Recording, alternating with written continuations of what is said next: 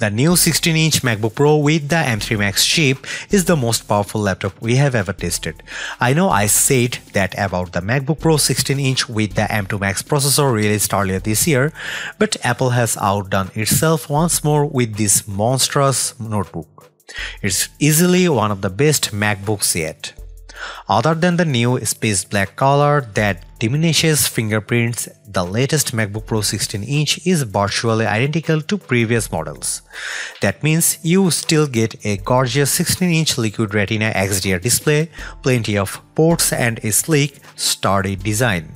But there's a whole lot of power underneath the familiar chassis thanks to the M3 Max processor. To be clear, the 16-inch MacBook Pro with an M3 Max chip isn't for everyone, and not just because of its lofty 3,499 US dollar starting price.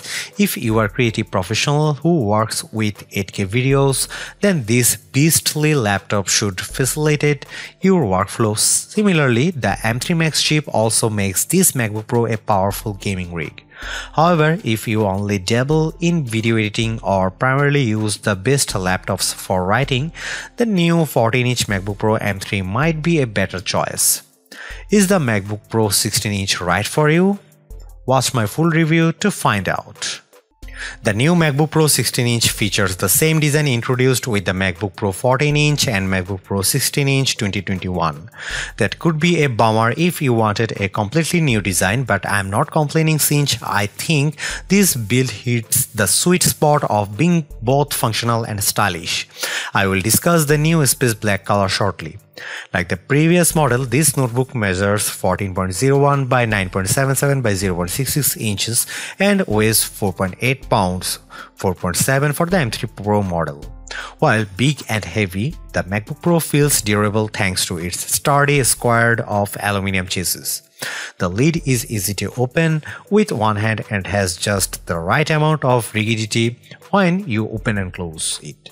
So its weight and size make it less portable than the MacBook Air 15-inch.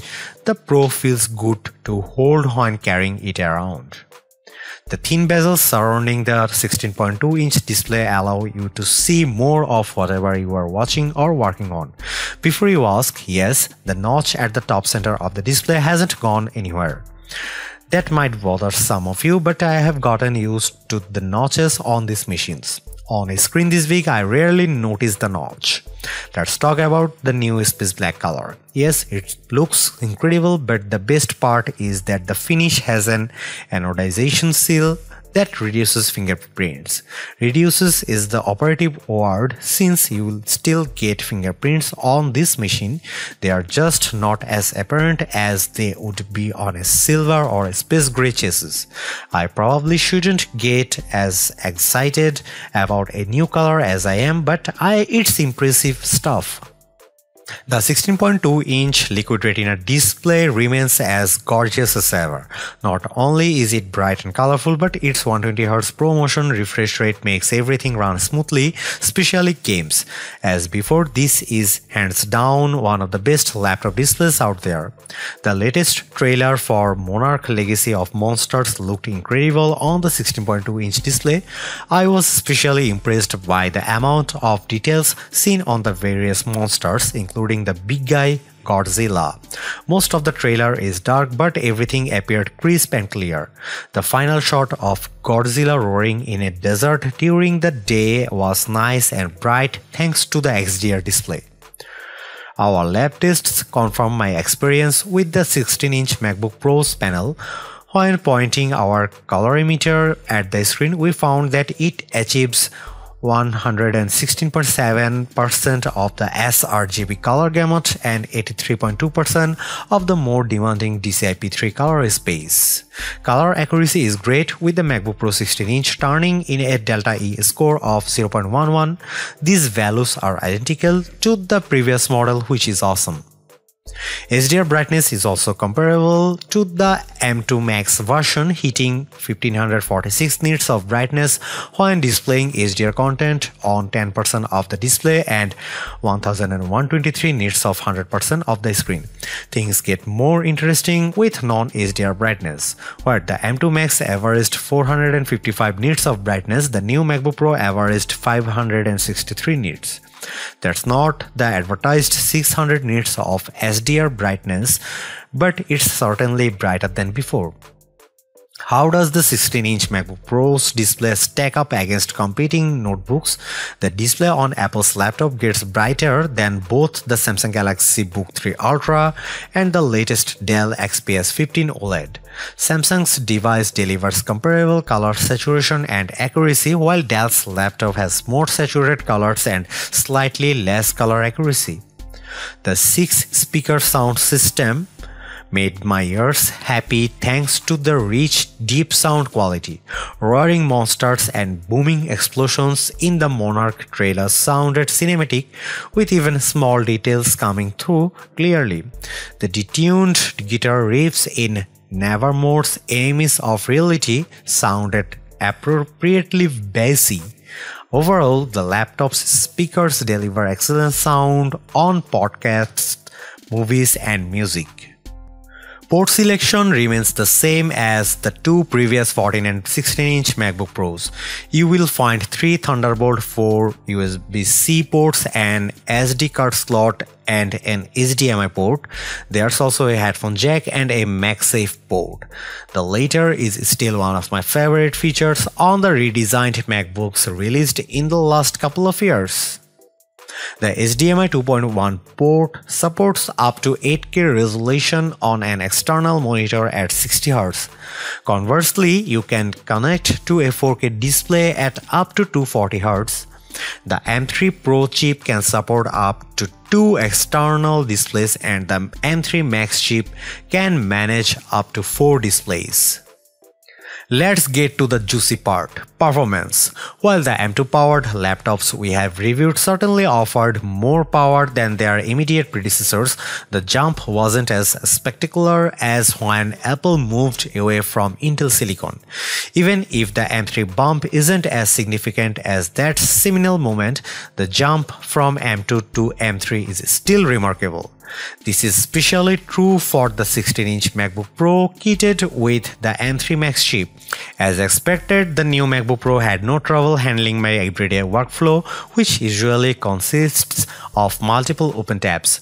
Even when I had upward of 30 open tabs with a YouTube video playing in the background, the M3 Max powered laptop never broke a sweat.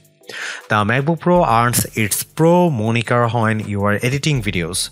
To illustrate this, our video editor rendered the same 9-minute 4K video on the 16-inch MacBook Pro M3 Max laptop and an older 14-inch MacBook Pro with M1 Max. The M3 Max machine completed the task in less than 5 minutes while the M1 Max laptop had barely rendered 50% of the video during the same amount of time. Our lab tests confirmed our anecdotal evidence. On Geekbench 6, which measures CPU performance, the MacBook Pro 16-inch with M3 Max notched a single-core score of 3200 and an incredible 21711 multi-core score. For comparison, its M2 Max predecessor scored 1993 and 15173 respectively on the same test. On Geekbench 5.4, the older M1 Max notched at 1781 and 12683 on the single or multi-core tests. In short, the M3 Max is roughly 20% faster than the M2 Max and 45% faster than M1 Max. In our Handbrake video transcoding test, the M3 Max driven MacBook Pro 16 inch transcoded a 6.5 GB 4K video to 1080p in 2 minutes 34 seconds.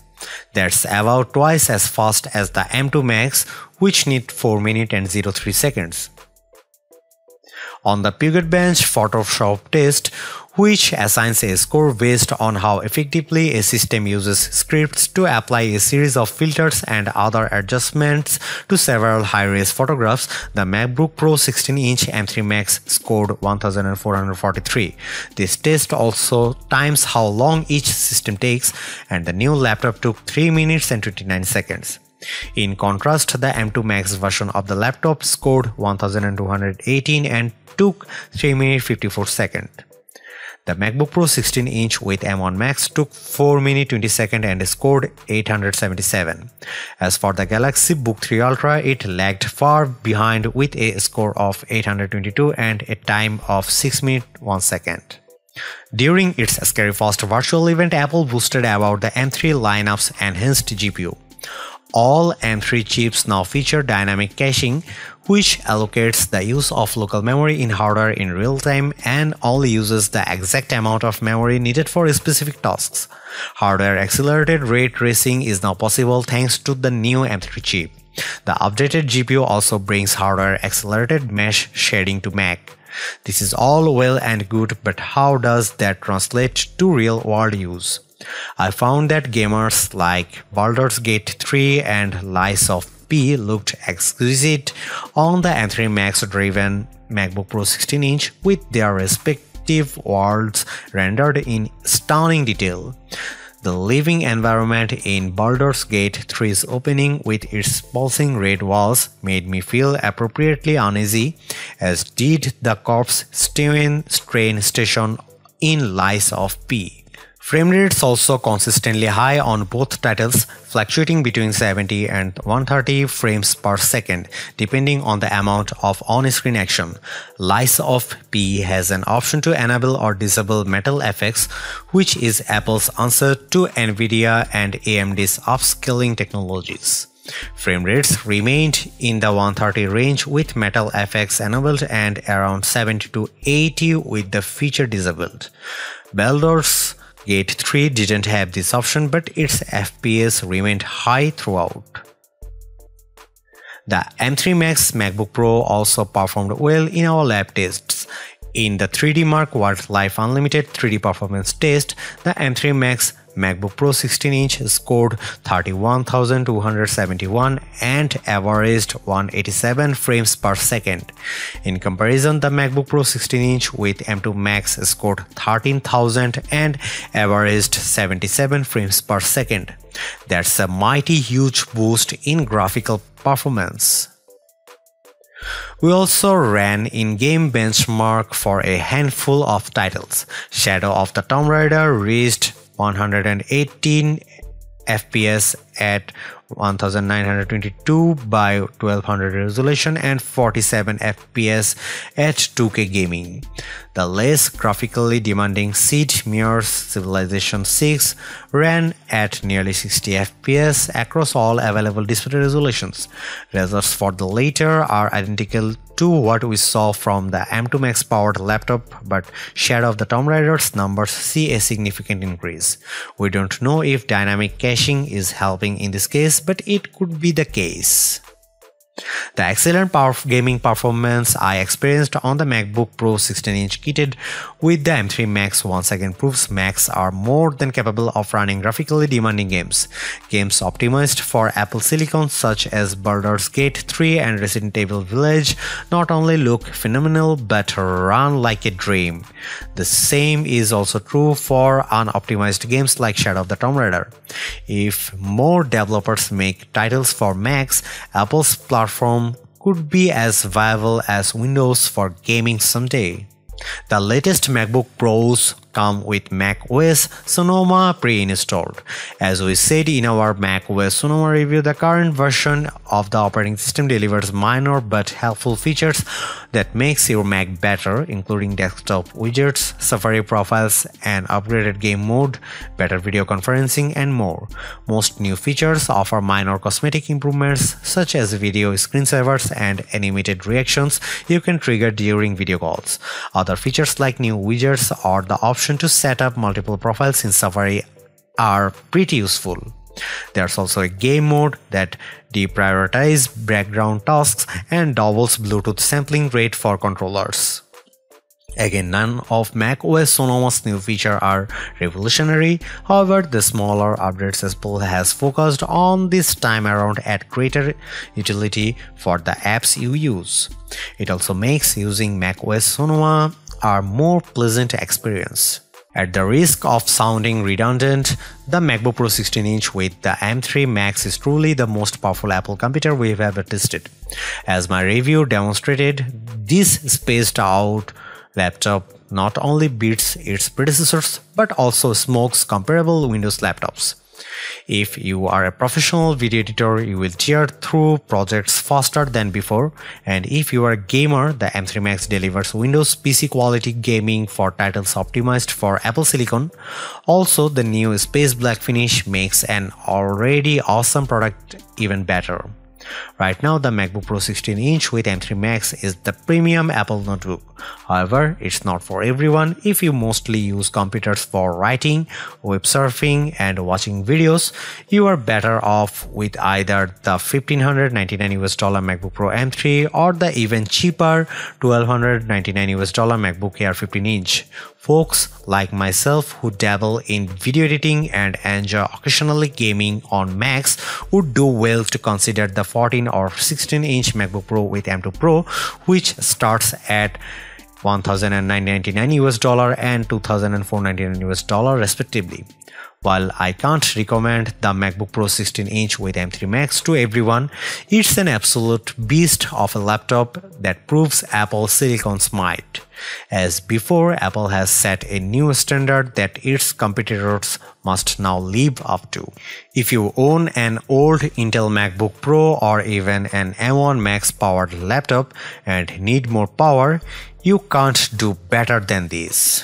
Thanks for watching, see you in the next one.